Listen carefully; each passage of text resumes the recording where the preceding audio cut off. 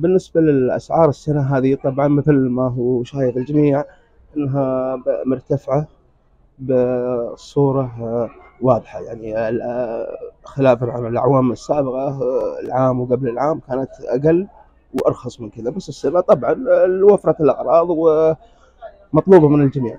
والله نشوف الأسعار فيها مبالغة شوية. إن كان نتسوق عن شر الفضيل.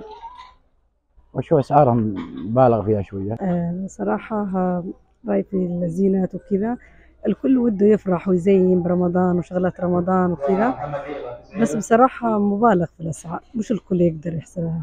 يعني ما تناسب ال- الكل.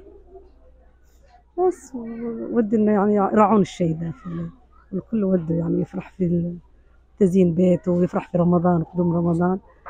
وصراحة الأسعار بكل منها بزيادة مبالغ مبالغ فيها صراحة. بالنسبة للأسعار ال- حقت رمضان أنا أحس إنها كل سنة تزيد أكثر. يعني مي زي السنة اللي طافت ولا اللي قبلها فالسنة دي مرتفعة صراحة. هذا رأيي أنا.